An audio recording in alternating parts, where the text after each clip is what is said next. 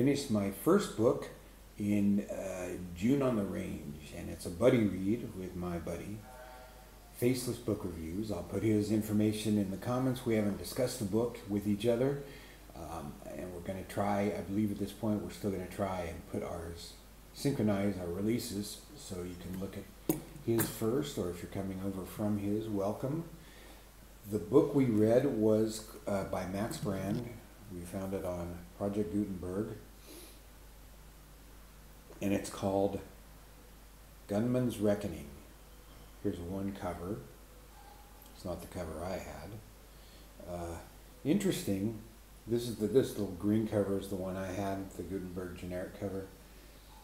But since it's a public domain novel, plenty of people have um, done the, done their own versions, their own cheap versions online to try and sell it. And I was just struck, first of all, here's somebody who did some like weird ass uh, supermodel thing. Um, you know, there's a few cool ones. You know, I I much prefer the old paperback covers.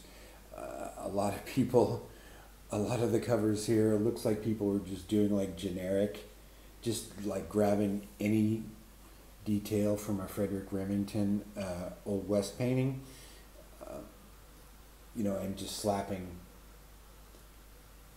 slapping it on as a cover, no, even when it makes zero sense for the story. Here's Gunman's Reckoning with all those cavalrymen riding in, and there's no cavalry in this book. That kind of thing. I thought that was funny. I'd never read Max Brand before. This book is from 1921. I've talked about him a few times on this channel uh, because he was so extremely prolific. Here's a picture of him. This one did used his picture for it, which is probably a, not that bad of an idea. There's another one that used his picture. I guess that's a famous picture of him. I like this cover the best, probably.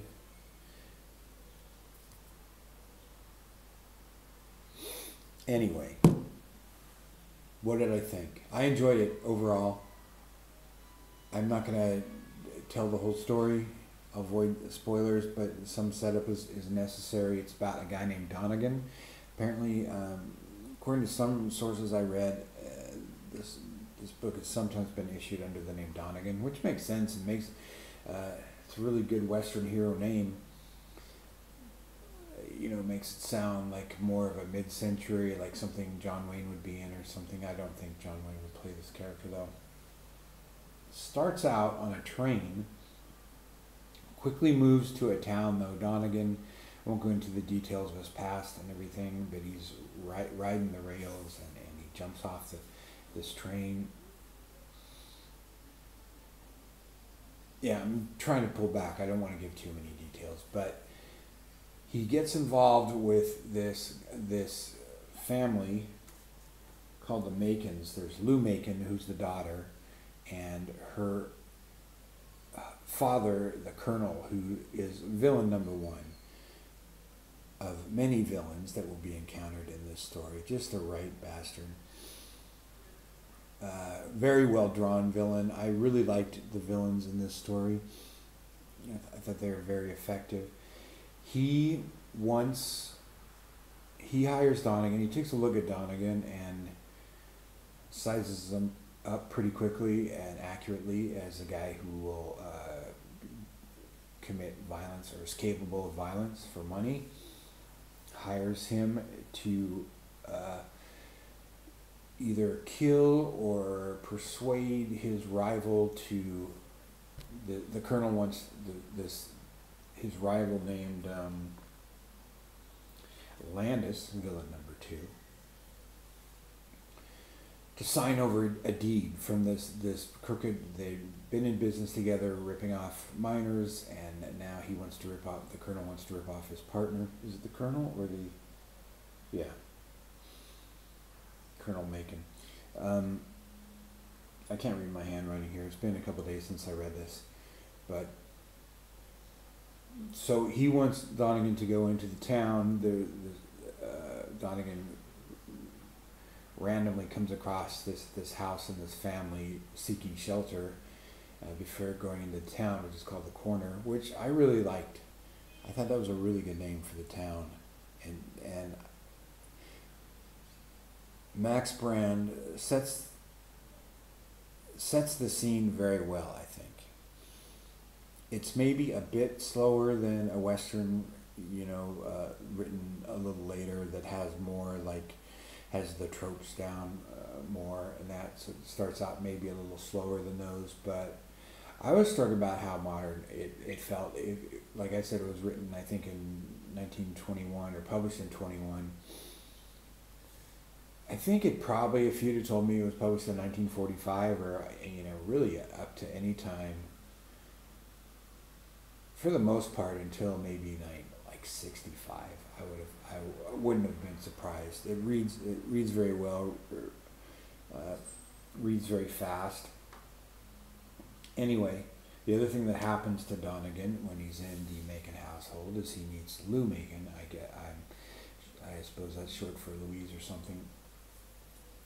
Who's a young girl, daughter of young woman, daughter of the colonel, who's really under his thumb, really like psychologically controlled by her father. Anyway, Donegan falls in love with her in that super innocent way that uh, characters of that time fell madly in love permanently and are irrevocably forever with each other. You know, it's just there's just a lot of that. There's just kind of a convention of of old stories like this. Anyway, so he falls in love with his daughter, and he's going to go take care of this this Landis guy. And a lot of the book a lot of the, the story involves a love triangle, which becomes a love quadrangle, and maybe even a, a love pentagram, pentangle, um, because uh, um, Donegan has a bit of a quandary because he finds out that Lou, the girl he loves, loves this guy Landis, who becomes his rival, and then Landis who the colonel once killed. It gets very convoluted.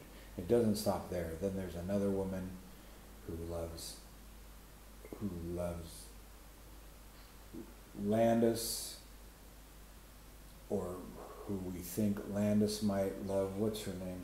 I don't know if I wrote. Nellie. Nellie the Blind. She's like a bad girl.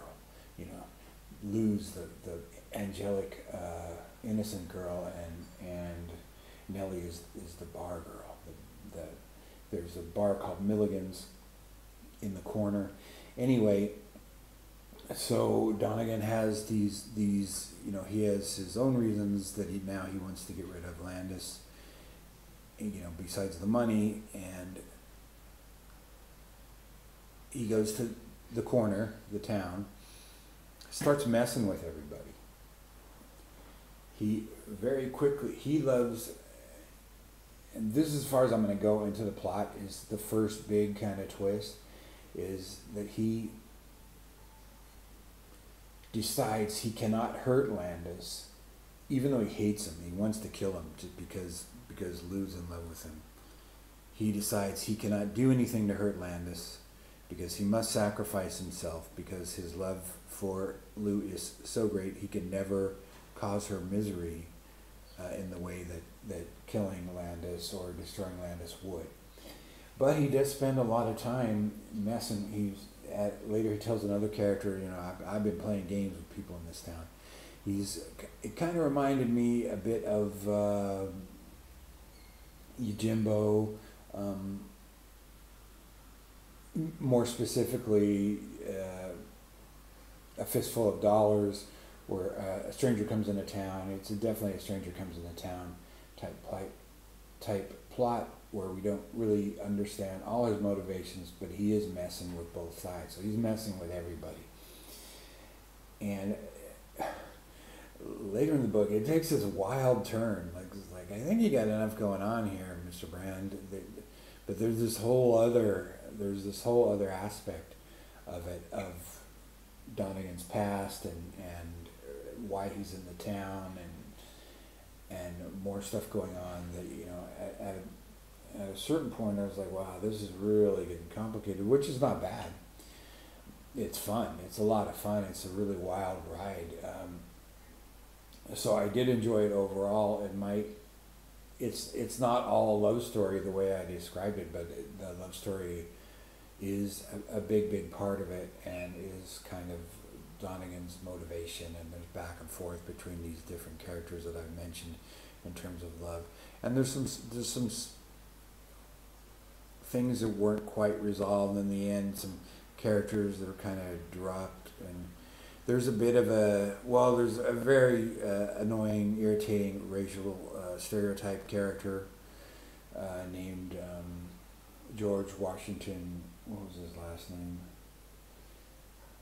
anyway he's just he's just a, a very terrible uh, stereotype unfortunately the character doesn't doesn't appear that much in the in the book. He's in a, a couple of sections, but it's it's unfortunate to have to read a character written that way, a, a black character written that way. You know, it's kind of jarring at, at this time, but you know, those are the kind of things you encounter in old novels, and apparently Max Brand's especially known for it. But uh, there's some action. Uh, you know, it's a bit slower pace than, than novels would be. The similar category, quote unquote, classic westerns. Classic in the sense of like there's gunfighters and there's saloons and saloon girls and all that kind of stuff. Um, but I thought it read very smoothly and and I enjoyed it a lot. Would I read more Max Brand? Uh, not right away. There might be some others if people would recommend one they really like. Will you sort of pick this one at random because the title sounded good, Gunman's Reckoning, and um, I think I suggested it. And just because of the Max Brand westerns on on Gutenberg, there's like seven or eight, I think. This one had the most downloads, so I thought, well, maybe people like it. And it's not too long, about the length of a regular western. It's it's worth checking out if you're really into westerns. And I think that's all I have to say about it. I'm glad I read it. Glad I can say I read Max Brand. There's kind of, you know, some some of these older genres uh, used to be more of a thing when they talk about the big three. Like the big three in science fiction used to be Asimov, Heinlein, and Clarke.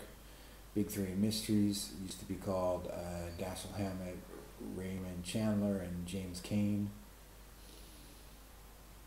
although two of those are private eye writers, and James Cain wrote uh, standalone stories. I never really understood that link, but they're all great writers. Maybe that's the link. And, and for a while, it used to be, at least growing up, like the, for me, the time I grew up, the, the big writers, the quote unquote Western writers, the big three would be Louis L'Amour, Zane Grey, and Max Brand.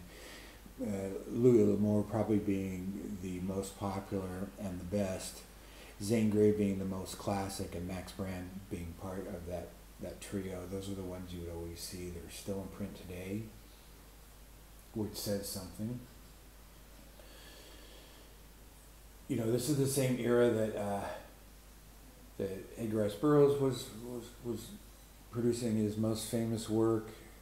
You know, Edgar Rice Tarzan of the Apes was written in uh, 1912, published in 1912, I think.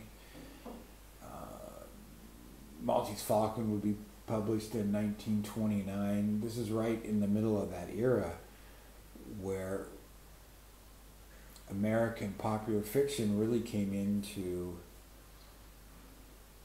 a modern era. I think when you read something before, you know, from the 1800s, it, it feels like it's, I mean, from the, yeah, from the 1800s, it feels like it's written in the 1800s. Something, but a lot of these popular writers from the early teens, and the same thing with Agatha Christie and England.